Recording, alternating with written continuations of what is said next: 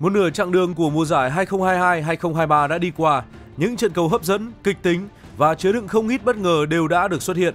Về phần nhóm Big Six, họ đã trải qua những hoàn cảnh trái ngược nhau sau 19 vòng đấu. Chúng ta có thể thấy sự thăng hoa của Arsenal, phong độ phập phù của Man City, sự trỗi dậy của Manchester United hay nỗi thất vọng mang tên Liverpool, Chelsea và Tottenham. Tất cả đã tạo nên bức tranh muôn màu về màn trình diễn của 6 đại diện hùng mạnh nhất ngoại hạng Anh. Và trong video ngày hôm nay, hãy cùng chúng tôi nhận định về những gì nhóm Big Six đã trải qua sau nửa mùa giải. Đầu tiên, có lẽ chúng ta nên điểm qua vị trí của Big Six trên bảng xếp hạng hiện tại. Sau nửa mùa giải, chỉ có Arsenal, Man City, Manchester United cùng Tottenham là góp mặt trong 6 đội bóng dẫn đầu, trong khi Chelsea và Liverpool thì lần lượt xếp ở vị trí thứ 9 và thứ 10. Đây thực sự là một kết quả hết sức bất ngờ, đặc biệt là với Liverpool và Chelsea. The Cop đang là đương kim Á quân của châu Âu và ngoại hạng Anh.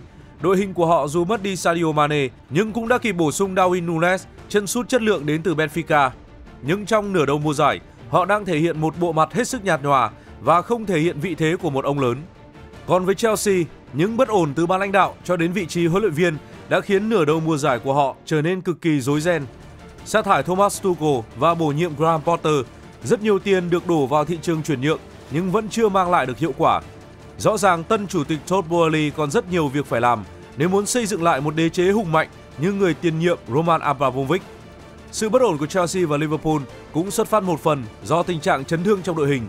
Jurgen Klopp mất gần như nguyên hàng công. Trong khi The Blues thì có thể xếp nguyên một đội hình những cầu thủ không thể thi đấu.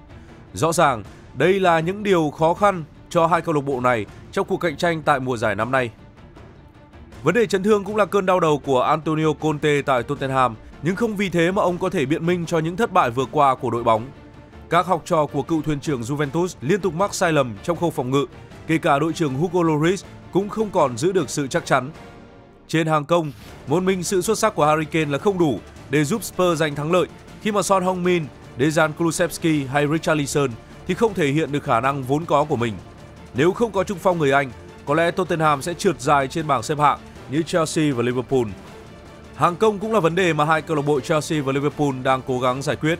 The Blues chính là đội bóng ghi bàn ít nhất trong top 10, dù sở hữu trong đội hình những ngôi sao chất lượng như Kai Havertz, Raheem Sterling, Mason Mount, Pierre-Emerick Aubameyang hay Christian Pulisic, nhưng tất cả đều không đáp ứng được kỳ vọng.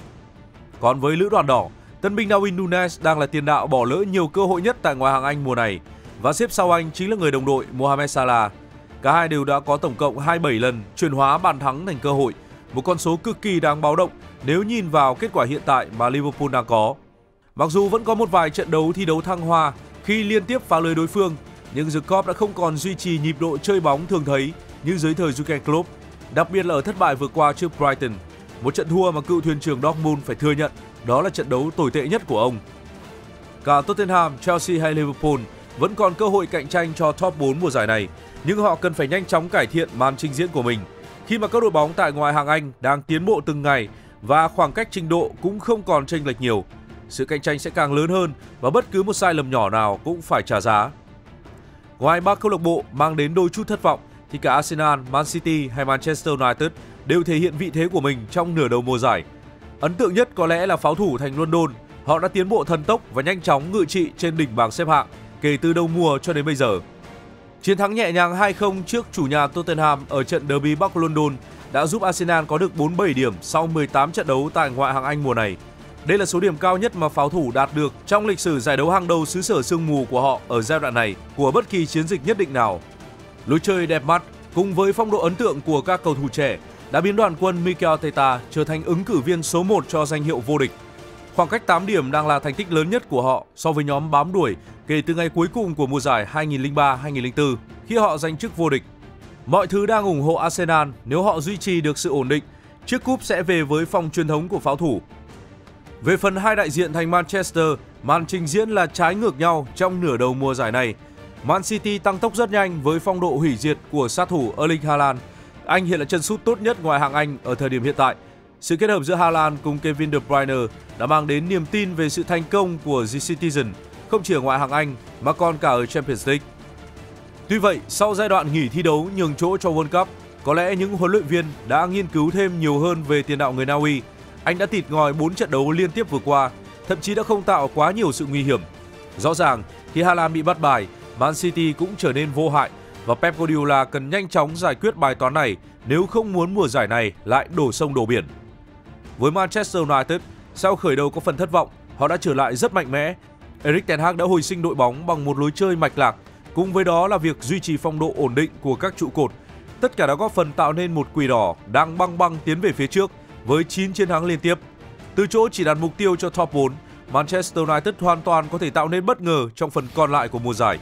Nếu duy trì được màn trình diễn như ở trận đấu vừa qua, việc cạnh tranh cho ngôi vô địch không còn là điều quá xa vời.